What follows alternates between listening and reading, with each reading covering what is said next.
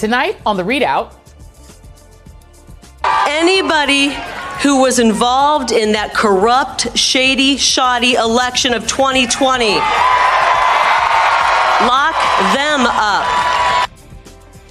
It is primary night in five states, highlighting lies like that one from Kari Lake and other candidates who are trying to get their hands on the key offices overseeing voting. And make no mistake, democracy itself is on the ballot. Also on the ballot today, reproductive rights in Kansas. A referendum there would strip women of their right to choose unless enough people vote no. And we all know Speaker Nancy Pelosi is a badass. Well, she arrived in Taiwan today, even though China is furious about the trip.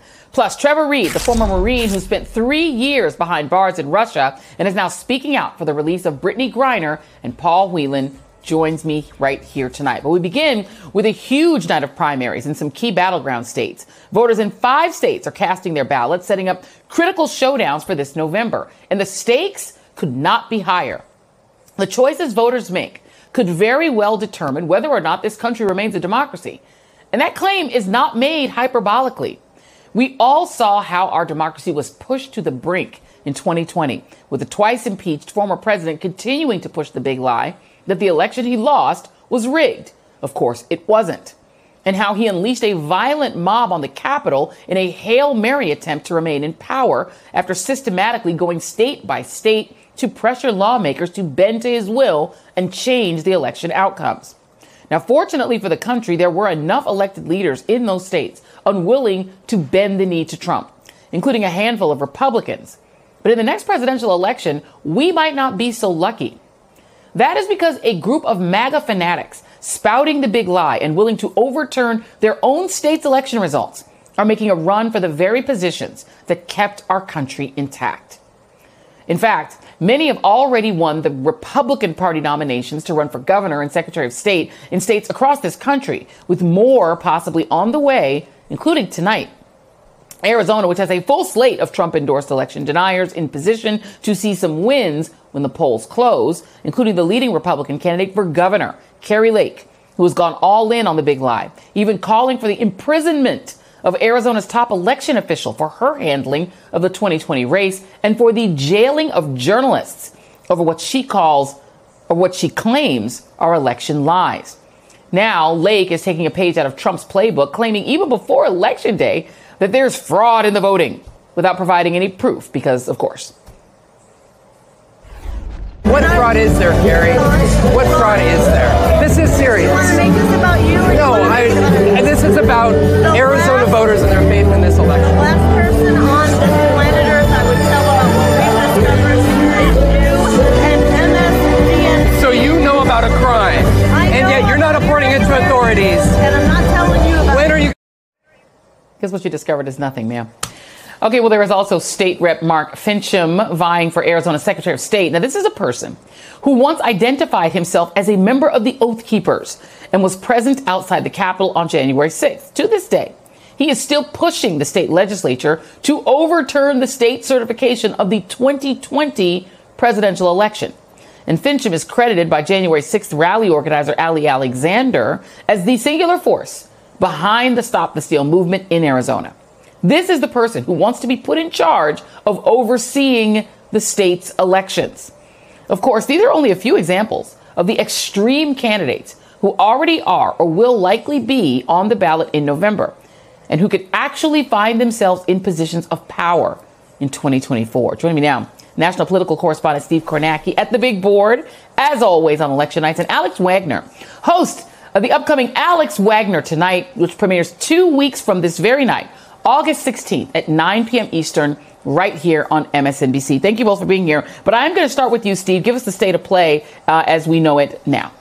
Yeah, well, Arizona, it'll be late tonight. It'll be about 11 o'clock Eastern when we start getting numbers there. Just by the way, the way things work in Arizona, it'll probably be within the first 10, 15 minutes of those polls closing that we get more than half the vote statewide. You get all, all one big batch there uh, in Arizona. So we won't know anything until late, but when we start to get some numbers, We might know a lot quick. So, what are we seeing here in Arizona? Well, you mentioned there's the Senate race here. This is for the Republican nomination to take on Mark Kelly, the Democrat seeking reelection in Arizona this November. Blake Masters has led in the polls. Blake Masters is running with Donald Trump's endorsement. So then again, that gets to the question of will the complete Trump slate of Republican primary candidates in Arizona get through? Blake Masters is Trump's candidate for the United States Senate. As you mentioned, Kari Lake is Trump's candidate for the Republican nomination for governor. She too has led in the polling, although there was a final Emerson poll in the last 72 hours that did suggest maybe a closer race here. So perhaps a bit of suspense at the end of this race here. Uh, Kari Lake, though, the Trump backed candidate for governor. Also, you just mentioned Mark Finchem, Secretary of State. The possibility here is of all the swing states in the country, if these Trump aligned, Trump backed candidates win their primaries tonight in Arizona, Arizona will be fielding a slate of Republican candidates that is more in tune with Trump on the 2020 question than any other Republican Party in any other swing state in the country. And I think that raises an important question for November. And again, it has to do with Mark Kelly, the incumbent Democrat seeking reelection. Democrats need Kelly to win to hold on to the United States Senate, to really have a chance to hold on to the United States Senate. This is a crucial race for Democrats to win. Remember, it was a Biden state in 2020, Arizona, but the margin was three tenths of one point. And given where Biden stands in the polls right now, given how midterm elections usually play out, they usually favor the opposition party, work against the White House party. Kelly, on paper, is an extremely vulnerable incumbent. The question is, though, if Republicans nominate this Trump aligned slate, top to bottom in Arizona, does that give the swing voters who might otherwise turn on an incumbent like Kelly in a year like 2022, does that give them pause? And does that keep them from voting for Republicans? And does that give Kelly a chance in Arizona, a better chance in Arizona? And does that give Democrats a better chance of hanging on to the United States Senate? So it'll be really interesting to watch these Republican primaries play out uh, in Arizona tonight to see if that full Trump slate is indeed successful. Really quickly, Steve, just a quick follow up because, you know, Donald Trump is has been selecting candidates uh, in these Republican primaries who I think most objective observers would say are probably the weaker choice. Um, for Republicans in places like Georgia and Pennsylvania, et cetera. In the state of Arizona, is there a sense of how Trumpy the electorate is? Because in some of these other swing states, the, the, the, the, chances of the Democrat prevailing are actually being increased by Donald Trump's picks becoming the nominees. Yeah, well, like I said, Arizona, the margin was three tenths of one point for Joe Biden in 2020. So, yeah, it was a blue state in 2020. Yes, Biden was able to carry it, but three tenths of one point, the, the, about 9,500 votes. It was under 10,000 votes. So it was comparable, I would say, in terms of just how close it was to Georgia. So you're, you're not looking at a, a, huge sort of surplus of Republican votes, you know, where it, it's not a deeply, deeply, you know, red state here. So this is a state that, you know, went Democratic by a whisker in, in 2020. Um, Republicans, certainly under a normal, as I say, normal midterm conditions, sort of a generic Republican candidate, I think might even be favored in Arizona. But there is a question by Biden's victory of, can you push that electorate too far? And I think that we might be set up to have that test in November. Steve Kornacki, the best. Thank you very much. Really appreciate you. And Steve will be at the big board throughout the evening with results from today's primaries. We'll definitely be keeping up with that. Alex, I want to bring you in here because, you know, I, I, think about Arizona. This is a state up until, you know, this was the Barry Goldwater state. That's how Republican the state was. This was John McCain state. It had two Republican senators pretty much my whole lifetime. Uh, and I'm not that old, but I'm not that young.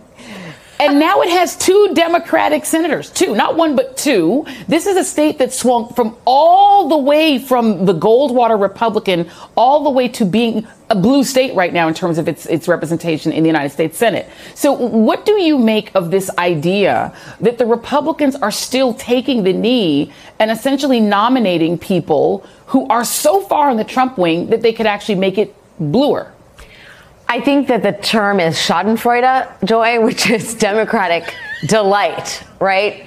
But at the same time, I think we it's important to step back for a second and look at this in the context of America, right? We're a two party system.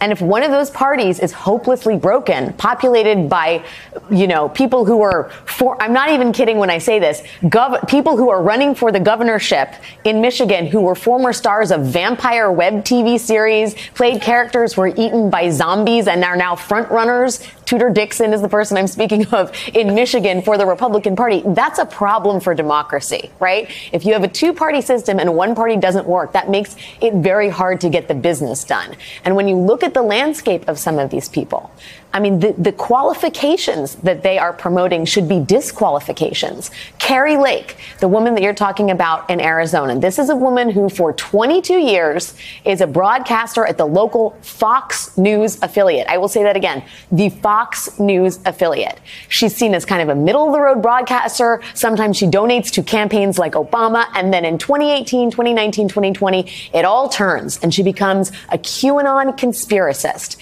Last year, she disavows the fourth estate. She walks away from the newsroom and she turns what could have been a, liability among Republican voters, which is to say her work as a journalist, into an asset by virtue of the condemnation. It is a testament to the anti-democratic norms of the GOP that you can't get to the top of the ticket if you're a journalist unless you disavow the fourth estate.